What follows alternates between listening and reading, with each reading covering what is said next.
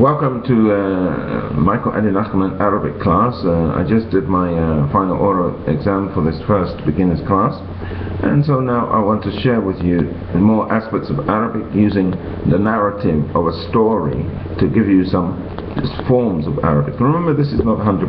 I didn't get 100% in the exam and you're going to get 100% but you will get to learn some Arabic. Okay.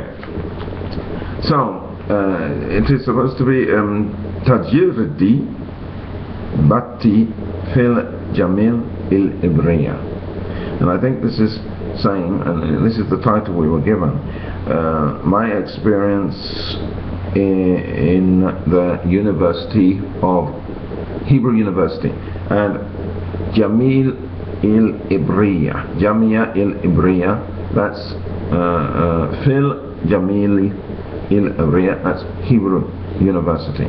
Notice that you have the word Jamia, university, before the word Ibriya, Hebrew.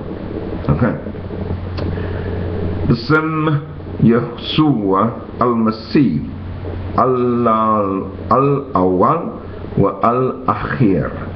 In the name of Yeshua, Yeshua, al-Masih, Al Masih, the Messiah. Al-Awwal, the first wa al-akhir. And the last.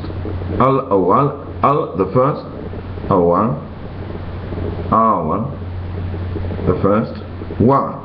And al-akhir akhir. The last. Okay so we notice in Arabic that the definite article is produced by al. But notice also when I said fil jamil il ibriya the al was present in fil fi was in. Al is the.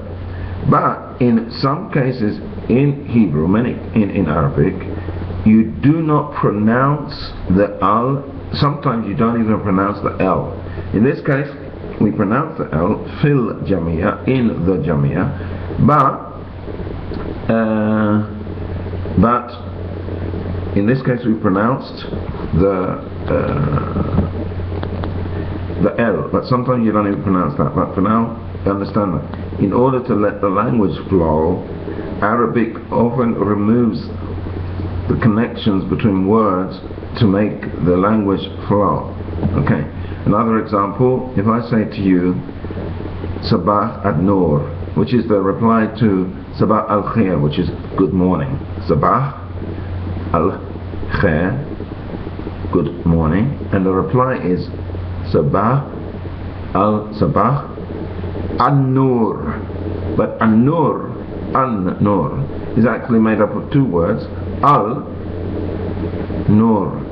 the light. Al-Nur but the nun or the n in the second word nur is called a sun letter that means that when the al precedes a sun letter the l disappears. And the beginning letter of the next word the nun is doubled.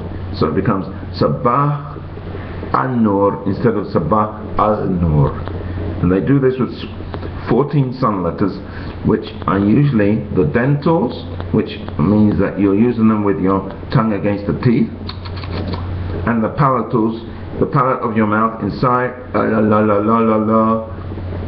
they are the letters which are sun letters which when the definite article precedes them the sound of the L disappears completely and you double the first letter of the next word okay so that was the introduction Bism in the name of Yeshua al-Masih al-Awwal wa al-Akhir, the first and the last.